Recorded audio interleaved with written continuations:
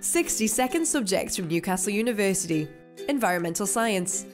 Environmental science is the study of the whole environment, looking into the interactions between biological organisms and our physical environment.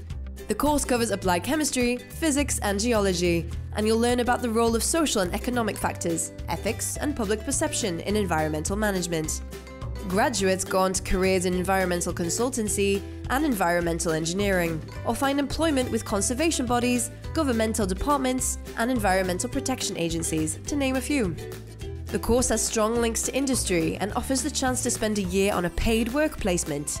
The course is taught through a variety of methods, including lectures, seminars, computer classes, and practical lab work, all integrated with practical fieldwork in the amazing northeast countryside.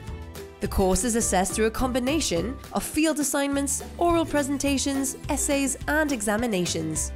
Environmental science at Newcastle University is also ranked in the world's top 150.